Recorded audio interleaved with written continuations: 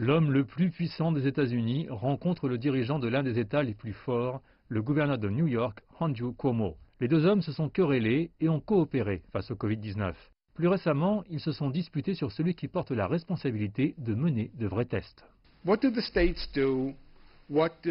Que font les États et que fait le gouvernement fédéral? Que faites-vous et qu'est-ce que je fais si je suis supposé faire quelque chose? Dites-moi quoi faire et ce que vous allez faire. L'État de New York continuera à contrôler les tests de ses citoyens et gérera aussi les laboratoires locaux et de l'État.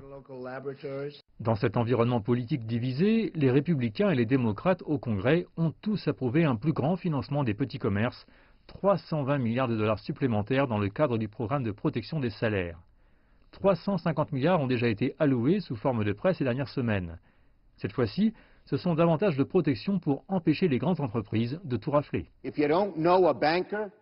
Si vous ne connaissez pas de banquier, si vous n'êtes pas une entreprise plutôt grande, vous avez été mis sur le bas côté.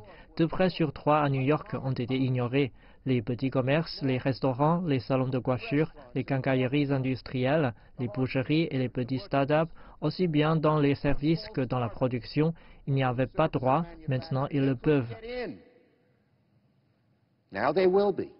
Il y aura plus d'argent pour les hôpitaux et pour les États afin de financer les tests de Covid-19. Rien que le mois dernier, le gouvernement américain a convenu de débloquer 3 000 milliards de dollars de soutien. Par ailleurs, le président américain dit qu'il va interdire temporairement l'immigration en raison du Covid-19. Le virus ne connaît pas de frontières, mais Donald Trump dit qu'il le fait pour protéger les travailleurs américains. Avec des millions de personnes sans emploi, cette initiative sera sans doute plus populaire que la précédente. À Washington, une crise est aussi une opportunité politique.